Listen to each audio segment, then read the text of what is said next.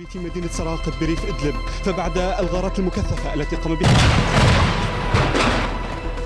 إذا من راح قبل ثواني قليلة فقط. سقط هذا.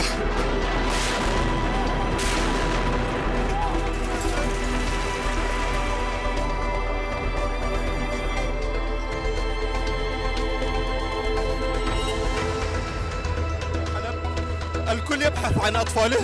وأب آه، يعتنق طفل طفلته بعد أن يلا هذه هذه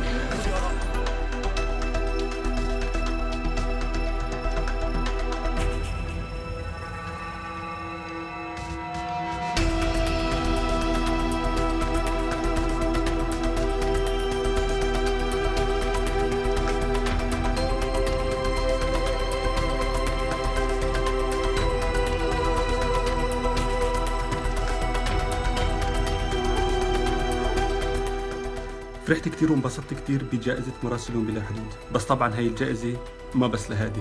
هي الجائزة لخالد لطراد لوسيم لشامل لباس لشحاتي ولكثير من الإعلاميين اللي استشهدوا وتركونا أمانة لازم نحملها.